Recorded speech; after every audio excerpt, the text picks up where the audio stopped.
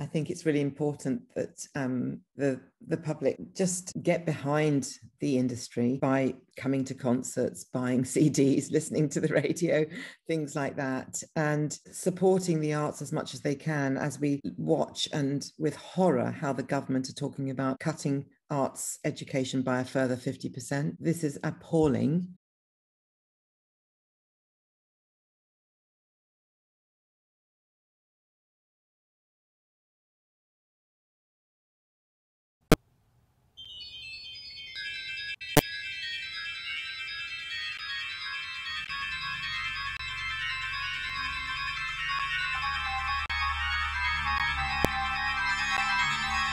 Everyone who is a musician is lucky to be a musician. Music is just something very special. You can't substitute music with, with anything, I would say. Yeah, I just think expressing yourself through art is important.